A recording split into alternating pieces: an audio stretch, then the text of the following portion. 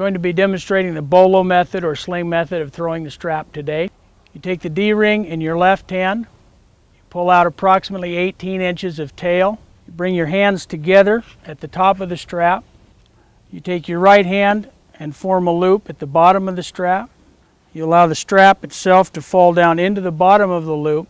Place your right hand inside the loop and your left hand back on the D-ring and flip the strap over the load.